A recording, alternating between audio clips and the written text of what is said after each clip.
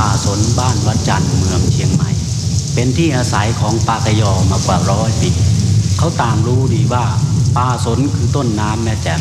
การรักษาป่านี้ไว้ คือการรักษาสายน้ำนี้ อันเป็นสายสำคัญแห่งแม่น้ำปิงผู้เฒ่าจาบูอยู่มาร้อยปี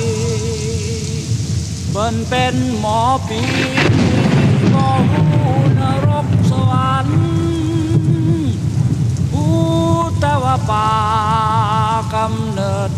สายทา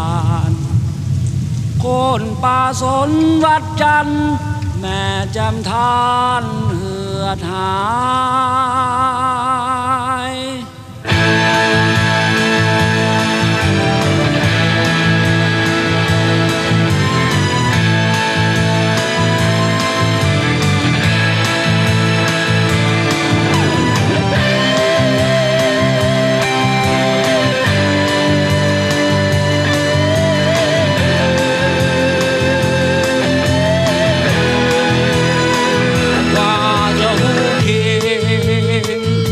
ปิงก็แห้งเหื